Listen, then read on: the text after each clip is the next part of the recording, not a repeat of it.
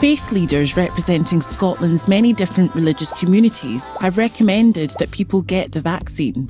The vaccines don't contain any animal products or egg. It's important to remember that COVID 19 can be serious, whatever your age.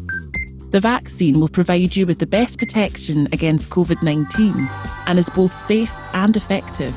When offered the vaccine, please get both doses. You can find more information on nhsinform.scot or by calling 0800 030 8013.